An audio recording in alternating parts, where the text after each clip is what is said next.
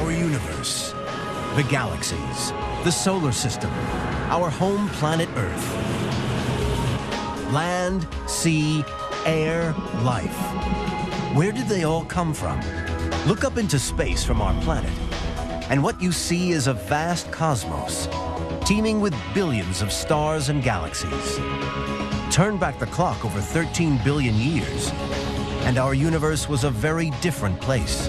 Back then, it was so small that it could fit inside the palm of your hand. From this infant universe, everything would be created. Stars, galaxies, and the building blocks of life itself. The calcium in our bones, the iron in our blood, the atoms for the air we breathe, the water we drink, the raw materials for our cities and machines. Naked Science takes a journey through space and time to discover how the universe was born and how it created everything in our world and how eventually it will die.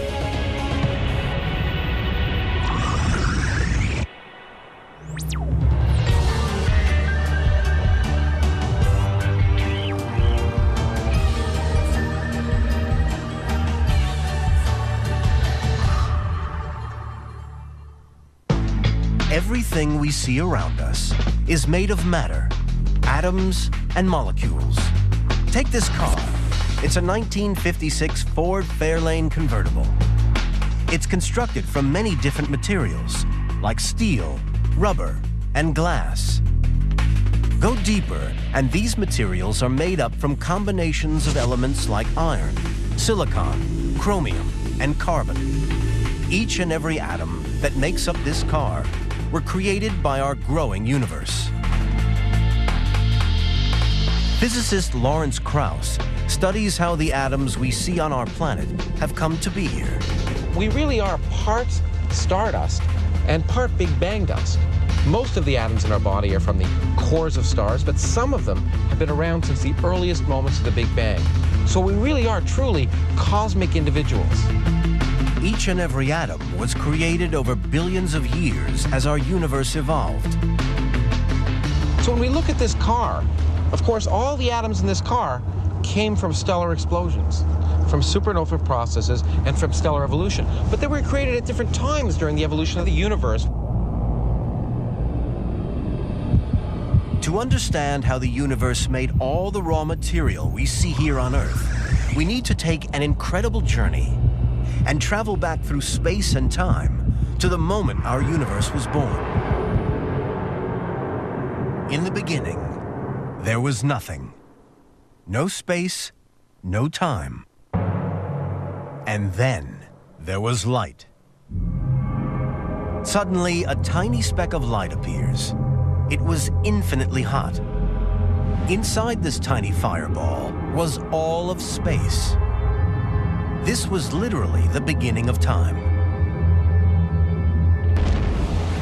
The cosmic clock was ticking. Time could flow and space expand. At the earliest moments of the Big Bang, if you take it back to t equals zero, everything in our universe, everything we can see, all the matter and all the energy in all of the galaxies was once contained in a region smaller than the size of a single atom today. The idea that our universe was once tiny originated from the brilliant work of American astronomer Edwin Hubble. Back in the 1920s, most astronomers believed that everything visible in the night sky were stars, and they were part of our galaxy, the Milky Way. But Hubble wasn't convinced. He studied a swirling cloud of light called the Andromeda Nebula and showed that it was a star city, another galaxy, far outside of our own galaxy. He showed that these other galaxies were speeding away from ours, and the further away they were, the faster they seemed to be moving. The universe was expanding. And if the universe was expanding, then at some point in the past, it must have been smaller. Much smaller. and that it must have had a beginning. The idea of the Big Bang was born. Theoretical physicist David Spergel is a Big Bang expert. The Big Bang theory is not really a theory of how the universe began. It's really a theory of how the universe evolved. No one knows exactly what happened during the Big Bang, but scientists do know that a fraction of a second after the universe was born, this tiny super hot fireball was already starting to expand. We don't know how the universe began. So we start our story when the universe was a billionth of a billionth of a billionth of a billionth of a minute old. Pretty young. The universe was the size of a marble. Less than a trillion trillionth of a second after the Big Bang, the marble-sized universe was very unstable and underwent an enormous growth spurt. During this period of incredibly rapid expansion, space was, itself was expanding faster than the speed of light.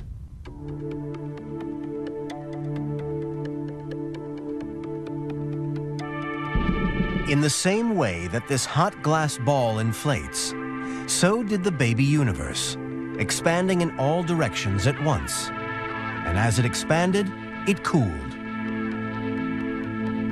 A trillion trillionth of a second after the Big Bang, the universe was small enough to fit inside the palm of your hand. A tiny fraction of a second later, it was the size of Mars. Another fraction of a second, and the baby universe had grown to 80 times the size of the Earth. A trillionth of a second after the Big Bang, and our newborn universe was still expanding. But it didn't contain matter. It was pure energy. Einstein's famous equation, E equals mc squared, showed that mass and energy are interchangeable. It gave us the knowledge to build weapons of mass destruction. It also revealed how the universe created the first matter. When a nuclear bomb explodes, a tiny amount of matter is annihilated and converted into energy. In the baby universe, the exact opposite happened. It converted pure energy into particles of matter. But there was a problem. The universe created both matter and its arch rival antimatter. And when these two met, they obliterated each other. The infant universe was a war zone, a battle to the death between matter and antimatter. If they mutually annihilated each other, the universe would remain full of energy, with no galaxies, stars, planets, or life. Fortunately for us, there was an imbalance. For every 100 million antiparticles formed, there were 100 million and one particles of matter. But there was that one extra particle of matter left over in each volume. And that was enough to be, account for everything we see in the universe today. This tiny imbalance led to all matter we see in the universe galaxies, stars, planets, even convertibles, and ourselves. Astrophysicist Carlos Frenk from Durham University in England explains. We are a little bit of debris left over from the annihilation of matter and antimatter. We're the leftovers of that process. If the universe had not developed this slight asymmetry between matter and antimatter, the universe would have been completely boring. There would be no structure, there would be no galaxies, there would be no planets. Quite what this newborn universe was like has challenged cosmologists since the Big Bang was first put forward. Now, in one of the biggest laboratories on Earth, they are able to recreate conditions that almost certainly existed an instant after the Big Bang. It's called the Relativistic Heavy Ion Collider, RHIC for short. And it's located at the Brookhaven National Laboratory on Long Island. It's like a time machine, taking us back to 10 millionths of a second after the Big Bang. Here, scientists like Todd Satogata accelerate subatomic particles close to the speed of light and then smash them into each other. The particles race around this two and a half mile circular tunnel in opposite directions 78,000 times a second and then collide inside this giant detector bigger than a three-story house. When they smash into each other, they generate incredible heat, just like the real infant universe. We believe the early universe was extremely hot, billions of times hotter than the center of the sun. And what you're doing when you're smashing these nuclei together is melting matter, creating matter hot enough to give us a glimpse of what the very early universe was like. When the particles collide, they break open and throw out a shower of even smaller particles. It's a bit like discovering what cars are made of by watching them smash into each other. You can race two cars together and smash them into each other head on. And when you do that multiple times, you start to see different patterns coming out. A tire comes out here, a radiator comes out there, and before long you can start to conclude that a race car is made up of these certain pieces. What the scientists at Brookhaven have discovered is that within these superheated collisions, a completely new form of matter appears. And this matter contradicts the previous theories on the nature of the early universe. Because it's not a gas, it's a liquid. It was super hot, 100 million times hotter than the surface of the sun. There was so much energy inside the young universe that the particles vibrated so fast that it had no stickiness. There was no friction, and it flowed perfectly. This liquid is perfect. It has no viscosity. In some sense, it would be the perfect motor oil, except it's a trillion degrees hot. Inside the collider, this amazing liquid universe exists for only a tiny fraction of a second. The Brookhaven scientists have succeeded in recreating conditions that existed over 13 billion years ago. Despite the universe being a perfect liquid, it was in turmoil. It was full of subatomic particles smashing into each other, releasing more and more energy. There was so much energy that unless the particles slowed down, they would never bond and create atoms, the building blocks of matter. And the universe would never create the galaxies and stars, or even us.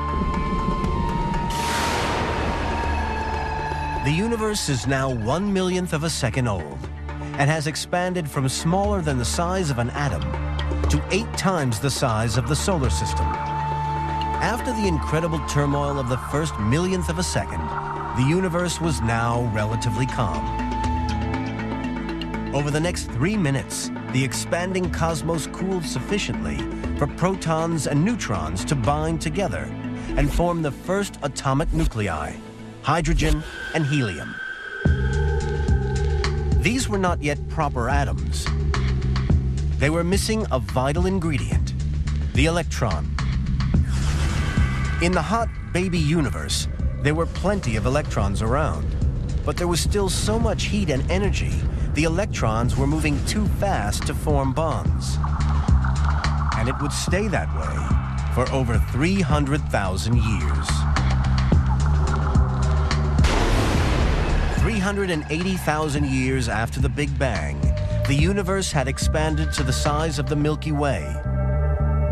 It had cooled from billions of degrees Fahrenheit to a few thousand. As it cooled, the electrons slowed down. The universe was now ready to make its first true elements. One of the scientists who discovered this critical moment in the story of the universe was Arno Penzias. 1963, 30-year-old Penzias and his 27-year-old colleague Robert Wilson began work on a new antenna in New Jersey. Initially, they were only studying cosmic radio waves, but they would stumble on one of the greatest discoveries of all time. As they started to test their equipment, they detected an unexpected background noise. It was additional signal and it appeared to be coming from the sky. We eliminated uh, very carefully the ground, even the solar system, because we did this winter to summer, seasonal variation, uh, man-made uh, sources of uh, equipment, all these things were eliminated. In desperation, the two scientists began to wonder whether the strange signal might have another more earthly origin. They found there were pigeons roosting in the antenna, and it was covered with droppings. They wondered if the pigeons were the source of the strange signal. There was only one solution. The droppings and the pigeons would have to go.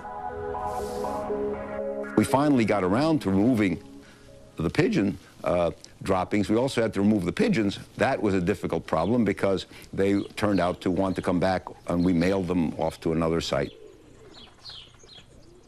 But even with the troublesome pigeons gone, the mysterious signal would not disappear. And so uh, we were left with the inescap almost inescapable conclusion that uh, this radiation was coming from the sky. I could not account for it. The strange signal detected by Penzias and Wilson would turn out to be one of the most important scientific discoveries of all time. But the explanation for their mystery background noise starts not with sound, but with the birth of light. We usually take light for granted. But in the early universe, 13 billion years ago, we would see nothing at all. Light was trapped. The universe was foggy. But as the universe continued to expand and cool, the electrons slowed down Protons then grab these calmer electrons to form complete atoms of first hydrogen and then helium. The universe was suddenly much less crowded with electrons. The fog lifted and light was no longer trapped. It hurtled out across the universe, creating a blinding burst of light. Had we been there, we would have suddenly seen this opaque universe become transparent. Suddenly the fog would lift and we would see a flash of light coming from everywhere around us. It must have been a spectacular moment. Over time, this burst of light dimmed and cooled and became microwave radiation. It was this faint 13 billion year old microwave signal that Penzias and Wilson picked up on their antenna. What they heard was the quiet echo of the moment the universe formed the first atoms. It's really the light from the origin of the universe. If you have an old FM receiver, if you tune between channels, turn the knob, and it doesn't capture it and pop to a station, you get to a part where there's none, you hear a, that's what we call noise. If you have a good radio set, one half of 1% of that is actually the sound of the Big Bang. And we can also see the moment when the first elements were created. If our television is not tuned to a station, a tiny fraction of the noise is radiation from 13 billion years ago. But this radiation is not the only reminder of the birth of the universe. Even the water we drink is a memento. And it's kind of amazing to think that every time we take a drink of a glass of water, we're drinking in atoms that have been around since the Big Bang, the hydrogen atoms. Over the next millions of years, the young universe continued to expand, cool, and get dark again. So far, the universe had only made hydrogen and helium atoms. But the world we live in is made from more than a hundred different kinds of elements. Without them, the universe would remain a very boring place, made up of only gas, a place where complex matter, like planets, cars, and people could never develop. The universe needed to get hydrogen and helium atoms to fuse. And to do that, it needed to make stars.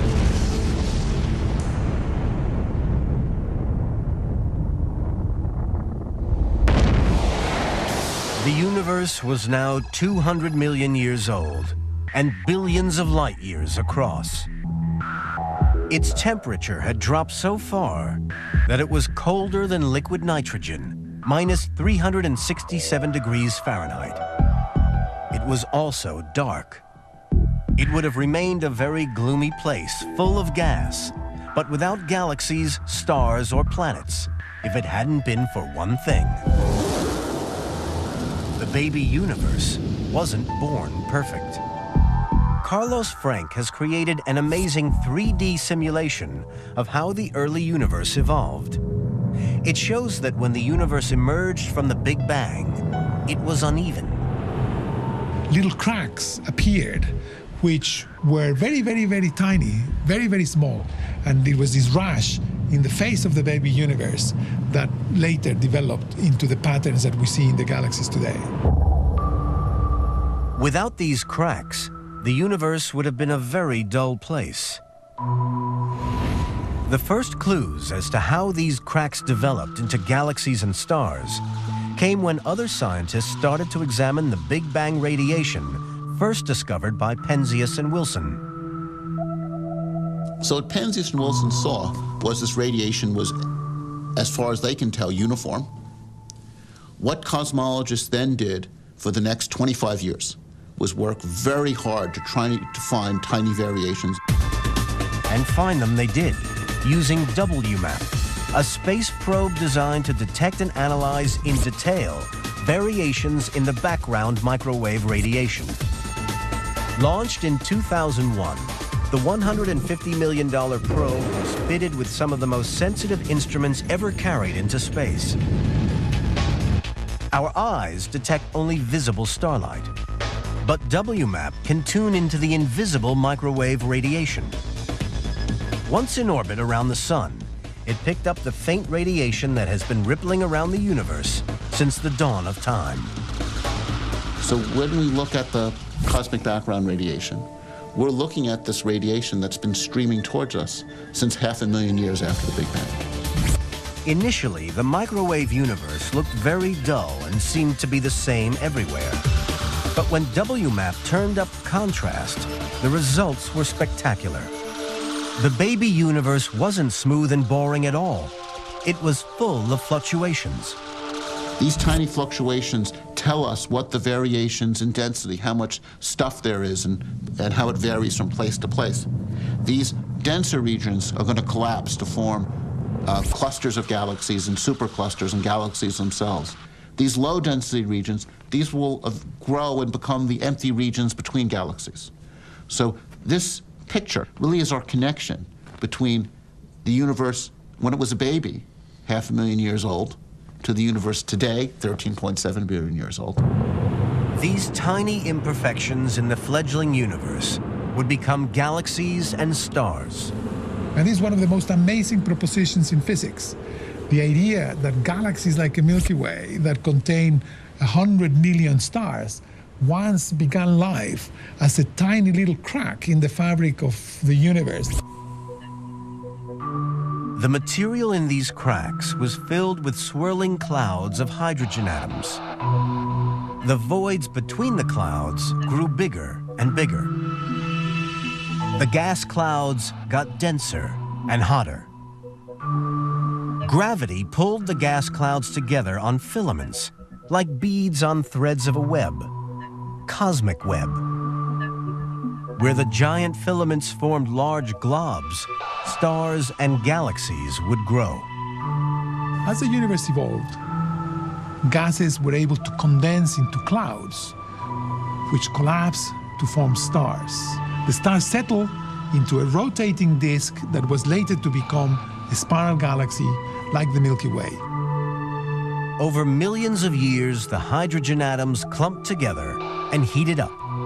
The atoms began fusing and releasing energy, and the gas clouds started to burn brightly. Eventually, a star was born. All over the universe, millions of stars ignited for the first time. The appearance of the first stars would have been a truly spectacular event. Had we been there, we would have really seen fireworks. Individual enormous flashes of light generated as the stars are born and burn themselves out. The universe has expanded many trillions of times its original size. It was full of newborn stars made of hydrogen and helium. These young stars were nothing like our own sun. They were very unstable. But it was their instability that would make the universe a more interesting place. Because deep inside each new star, something amazing was happening. They were creating new elements. The idea that stars build atoms came from the British astrophysicist Sir Fred Hoyle, one of the greatest astronomers of the 20th century.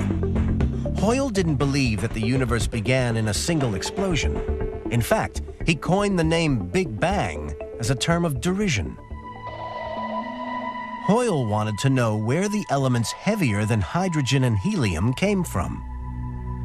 He figured out that stars acted like nuclear reactors, working a bit like a hydrogen bomb in slow motion.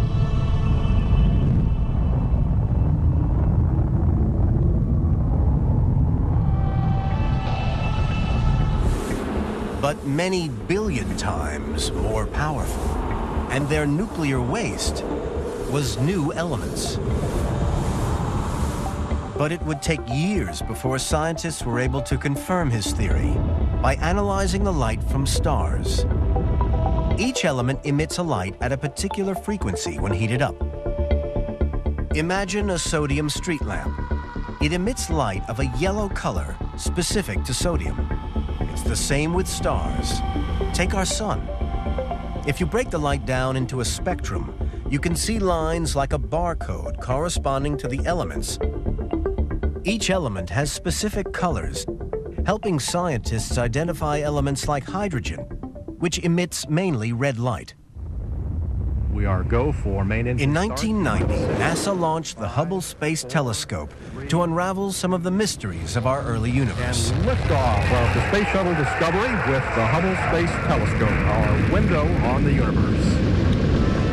Hubble promised scientists unprecedented views of the young universe. It would be able to look back through space and time and examine early stars to discover if they were making new elements.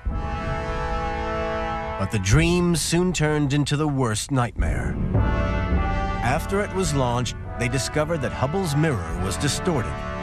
It saw everything out of focus. It needed corrective lenses.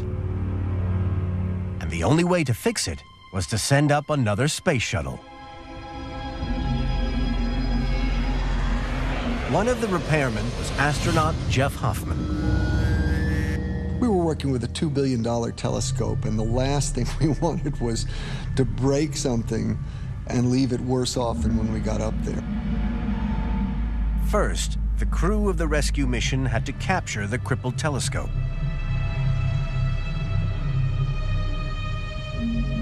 Then execute a repair mission unprecedented in the history of spaceflight.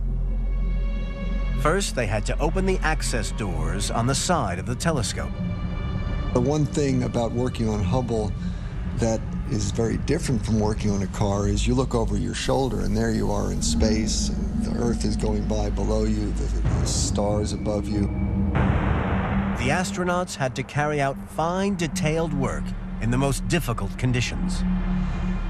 When you're working in a spacesuit, your hands are encumbered by thick, stiff gloves. It's sort of like working in ski mittens, and it was quite a challenge. All went well until Hoffman attempted to close the huge access doors. I just had to close up the doors, and when I went to close them, they wouldn't close properly. The doors were somewhat warped, and it took a while for it to sink in. This was very serious. If you can't get the doors closed, you lose the telescope. Using improvised tools, Jeff and a colleague were finally able to close the doors. It took the team five days to repair the stricken telescope. Cosmologists around the world held their collective breath. They waited to see if the most expensive telescope ever built would deliver what its designers originally promised. I well remember New Year's Eve, 1993, December 31st, when my phone rang, and it was an old friend who worked at the Space Telescope Science Institute in Baltimore. He said, Jeff, you have any champagne left over from your party? I said, Yeah, we still have a half bottle in the refrigerator. He said, Well, crack it open again and drink a glass because we got the first picture back and Hubble works. This is what Hubble saw. The images were beyond anyone's wildest dreams. Hubble captured the final moments of a star's life when it explodes and blows off gas and dust. It also captured interstellar nurseries of newborn stars, exploding into life billions of years ago, and dark pillars of cosmic dust, millions and millions of miles long, ready to spawn a new generation of stars and planets. But Hubble's true moment of glory was still to come. Over a 10-day period in 1995, the mission controllers pointed the telescope at a distant empty patch of space. What emerged was the Deep Field image, a tapestry of distant galaxies. Hubble was looking back in time to some of the first galaxies and stars created. It revealed thousands of galaxies that hadn't been seen before. So the, the universe became, to our consciousness, far richer after the Hubble Deep Field. It showed for the first time faint images of galaxies formed just a billion years after the Big Bang. Scientists then examined the spectrum of light from these distant stars and showed that these early galaxies had already created elements heavier than hydrogen and helium. Sir Fred Hoyle may have been wrong about the birth of the universe, but he was absolutely right about the stars. The early stars acted like giant thermonuclear reactors creating new elements. You can think of the creation of all the elements in this room as, uh, in some sense, like a, a car assembly line. Because in a car assembly line, each part is sequentially added to the vehicle until it's complete. Fusion reactions inside these young stars released enormous amounts of energy and heat, which forced atoms to fuse to form new, heavier elements, one after the other. Three helium nuclei combined to form carbon, two carbon nuclei fused to form magnesium, magnesium to form neon, and so on over a period of hundreds of thousands of years until silicon fused to form iron. Iron is a very special atom. The protons and neutrons inside its nucleus are very tightly bound together, so that even the extreme temperatures inside the stars couldn't get it to fuse into heavier elements it resolutely stays iron. It was the end of the road. The production line of element building shut down. But our universe was still not complete. There were all the ingredients to make a glass of water, and some of the elements to build much of our convertible. There were also quite a few of the ingredients to make a human being. The oxygen we breathe, the calcium in our bones, and the iron in our blood. But there still weren't any of the vital ingredients like chromium for our car fender. And some metals like zinc that our bodies can't survive without. The universe was about to enter a super creative phase where it produces all the elements heavier than iron. To make the missing pieces in our birth of the universe jigsaw would take some of the most powerful explosions the universe has ever seen.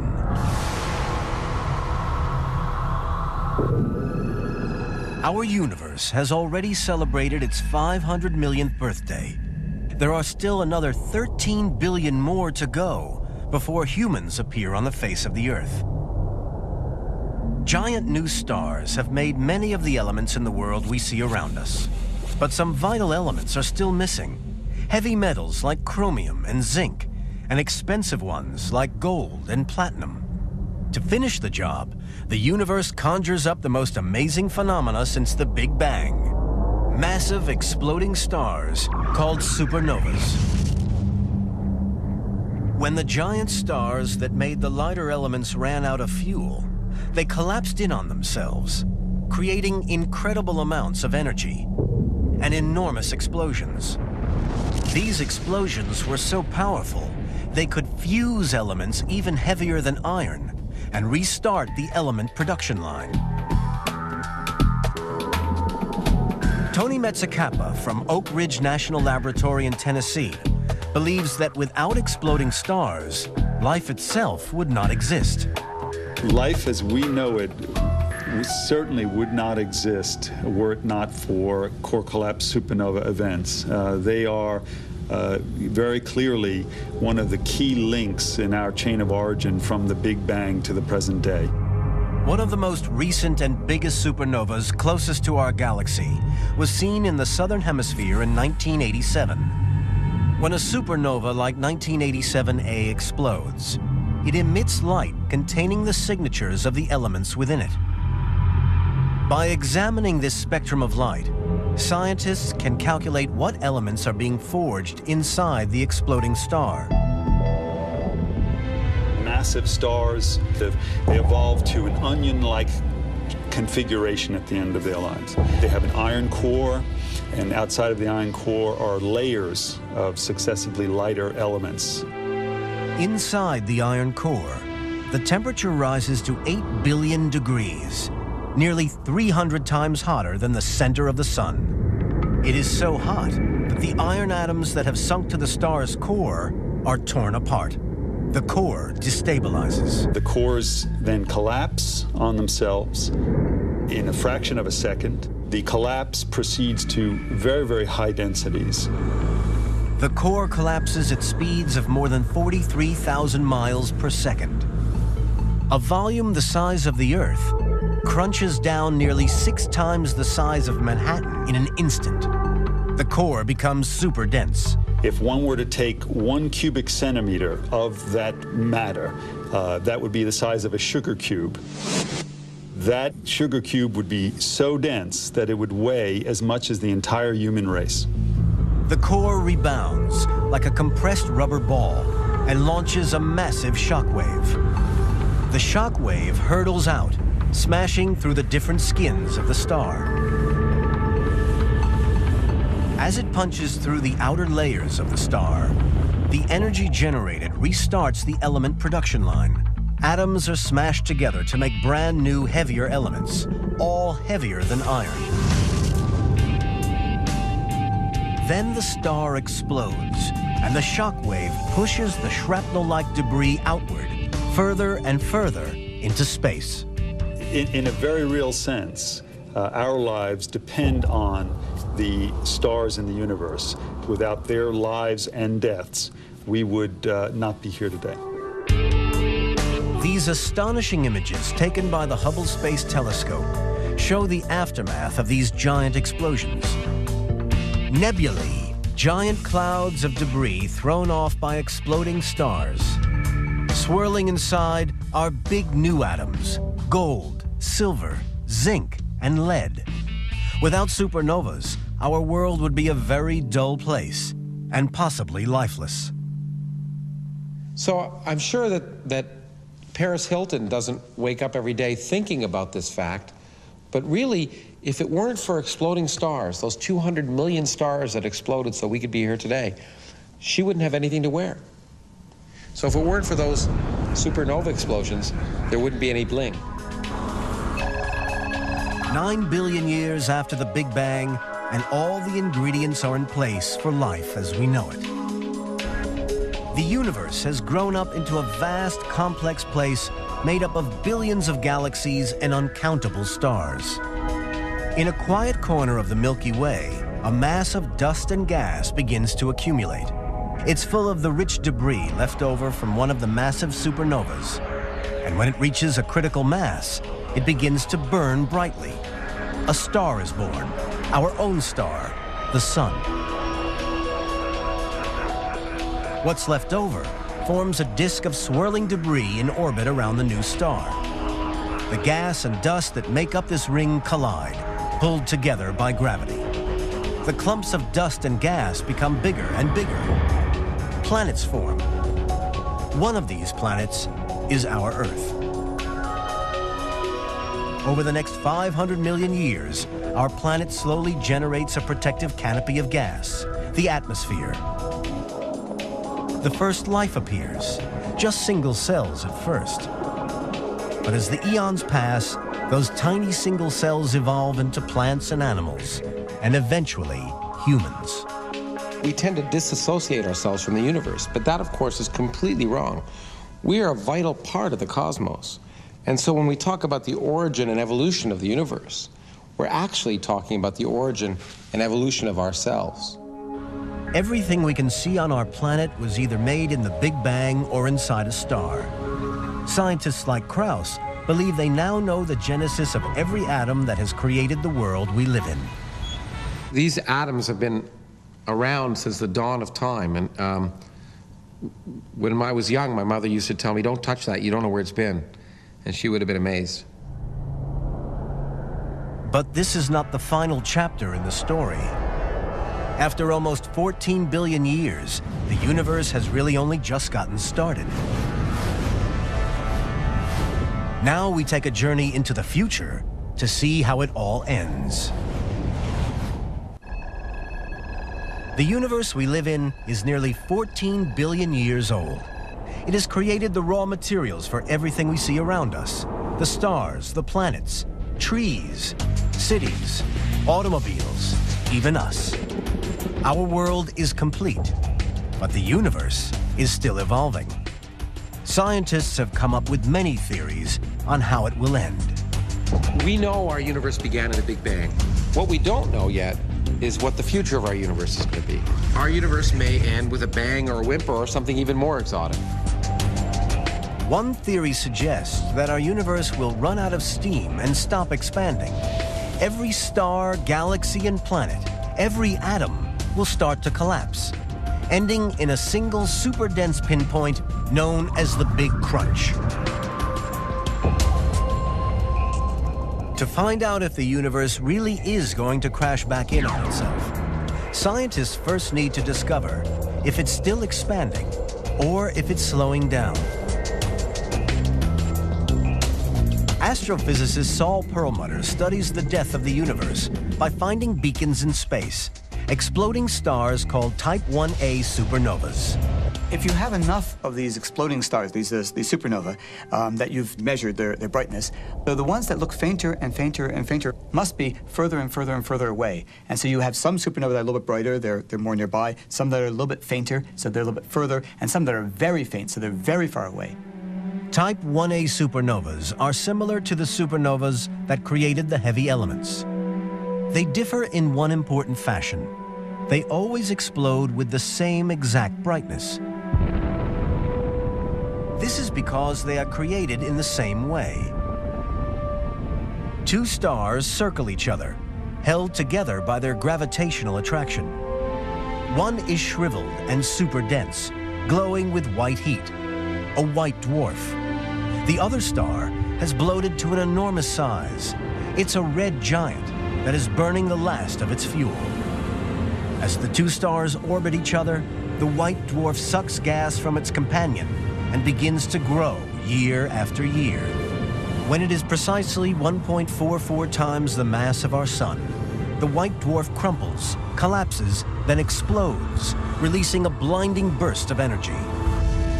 Every Type 1a supernova explodes at the same tipping point, and so are equally bright and visible across the vast distances of the universe. Perlmutter needs to find hundreds of Type 1a supernovas and then measure how fast they are moving away from us. By comparing the positions and dates of all these supernovas stretched over space and time, Perlmutter can calculate whether the universe is slowing down. His results are a shock. The expansion of the universe isn't slowing down at all.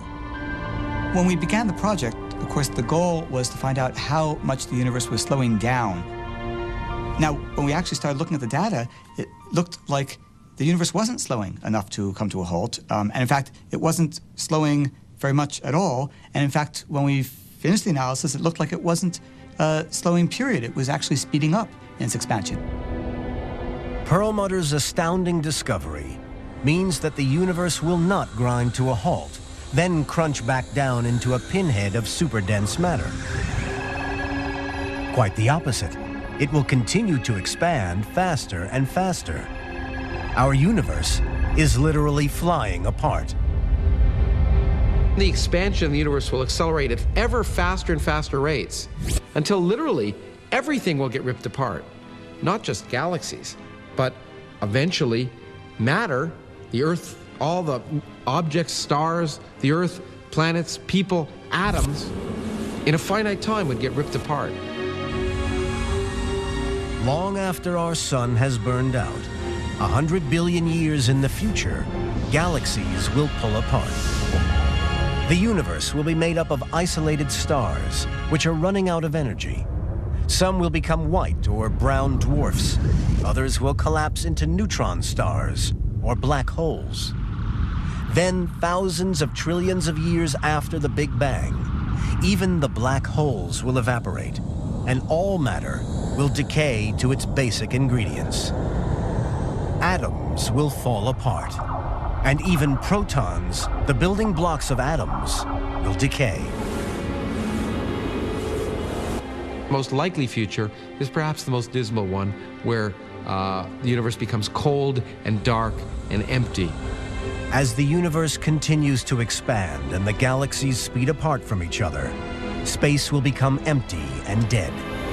Our own cluster of galaxies will be moving away from us faster than the speed of light and will disappear from the night skies. Eventually, everything will just sort of wind down, and, and that's the end of things. Finally, the universe will die, and all that will be left is a cold, dark, and lifeless space.